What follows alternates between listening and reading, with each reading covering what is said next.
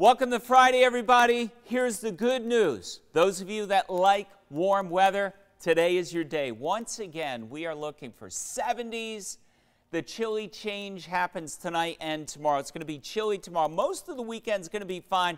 Tomorrow, early on, like 3 a.m. to 7 a.m., could be a shower parts of the shoreline in eastern Connecticut. Otherwise, though, it looks good. Now, today, Clouds give way to sun.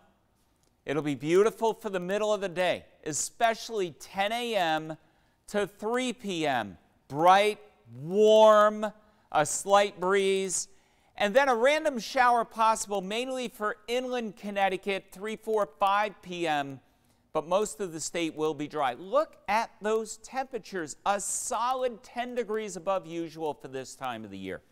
76 shoreline, 78 inland, but that front comes through this evening.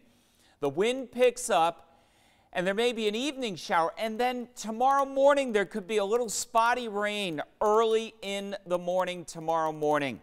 And it's going to be chilly. I want to wish everybody good luck running the Eversource Hartford Marathon, the Eversource Hartford Half, the Eversource Hartford 5K. Plan on a chilly, road race tomorrow morning. And if you're going to be standing around cheering people on, dress for a chilly feel tomorrow morning. Otherwise, it looks good. Great apple picking weather, pumpkin picking weather. A little warmer on Sunday, heading up to around or just over 60. Uneventful early next week. And then we have a strong front coming our way with rain later Thursday into Friday morning. And you can see what it does to the temperature at the end of next week. Get outside today, midday today, those temperatures 10 degrees above usual for this time of the year.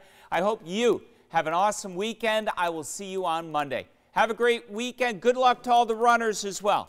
Bye.